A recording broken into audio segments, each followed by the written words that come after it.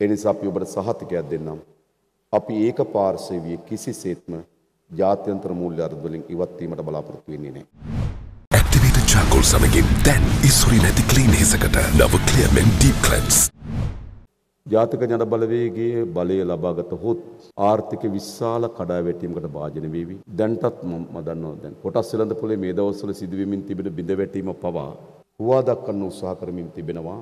මේ ජාතික ජන බලවේගයේ වර්ධනය විසින් තමයි මේ කොටස් වෙළඳ පොලේ මේ හැකිලීම සිදුවෙමින් යන්නේ කියලා. අසත්‍ය කතා. නමුත් උනුත්සාහ කරනවා මේ මේ ජාතික ජන බලවේගයේ වර්ධනය තමයි අද ෂෙයා මාකට් එකේ පසුබෑමකට හේතු වී තිබෙන්නේ කියලා වගේ අර්ථකථන ගොඩනගමින් තිබෙනවා. ඒ නිසා අපේ පැත්තේ මූලික පැහැදිලි කිරීමක් කරන්න වෙයි කියලා අපි කල්පනා කරා මොකක්ද මේ බිඳ වැටීම් පිළිබඳ සත්‍ය කතාව. අපි දන්නවා අපි දීර්ඝ කාලයක් දේශපාලන නිරතුණු අය. අපි පළමු අවස්ථාවේ තමයි රාජ්‍ය බලය ලබා ගන්න ආසන්නයට ඇවිල්ලා තිබෙන්නේ. ඉතින් අපි දීර්ඝ කාලයක් දේශපාලන අරමුණක් සහිතව වැඩ කරලා මාසයින් පලා යන්න පුළුවන් වාතාවරණයක් අපි හදයිද? එහෙම හදන්නේ. ඒ විතරක් නෙවෙයි.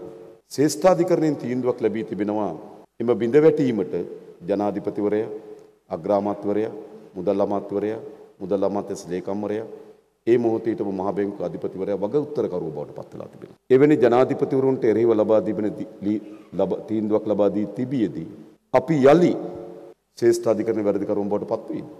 නැහැ. ඒ නිසා පළමු කොටම අපිට ඔබට සහතිකයක් දෙනවා. මේ තියෙන ආර්ථිකය කිසිදු ආකාරයෙන් බිඳ වැටෙන්ට ඉඩ නොදී මේ ආර්ථිකය තවත් ස්ථාවර සහ සයුමත් කරමින් ඉදිරියට ගෙන යාම තමයි ජනතාව සහ අපි අතර තියෙන සම්මුතිය. ඒ වගේම අපි තේරුම් අරගෙන තිබෙනවා අපිට ලැබෙන්නේ මොන වගේ ආර්ථිකයක්ද කියලා. අපි තා ගැඹුරින් තේරුම් අරගෙන තියෙන මේ ආර්ථිකයේ කඩා වැටීමේ තිබෙන බරපතලකම. ඒ නිසා ෂණික එකවර ඇති කරන විශාල කම්පනයක් මේ ආර්ථිකයට ඔරොත්තු දෙන්නේ නැහැ.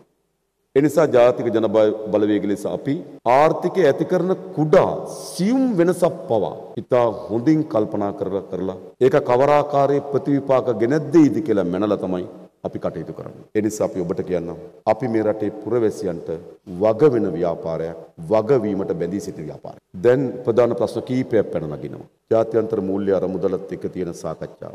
අපි දන්නවා ජාත්‍යන්තර මූල්‍ය අරමුදලත් එක්ක තියෙන මේ වැඩසටහන අපේ සමස්ත ජාත්‍යන්තර සබඳතා ගනු ඒවක් සියල්ල ජාත්‍යන්තර මූල්‍ය අරමුදල කියන බාස්කට් එක ඇතුළේ ඉන්නේ.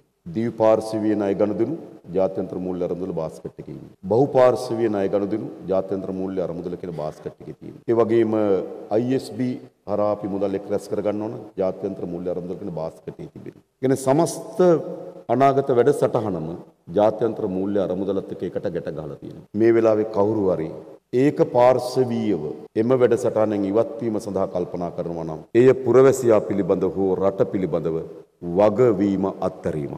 ජනාධිපති දුර අපේක්ෂකයින් සමග සටන එකොළොස්වනිදා බදාදා ආචාරය විජේදාස රාජපක්ෂ දොළොස්වනිදා බ්‍රහස්පතින්දා ෆිල් මාශල් සරත් ෆොන්සේකා දහතුන්වනිදා සිකුරාදා නාමල් රාජපක්ෂ දා හතරවනිදා සැනසුරාදා අනුර කුමාර දිසානායක රාත්‍රී දහය තිහට සිරස TV හා TV1 ඔස්සේ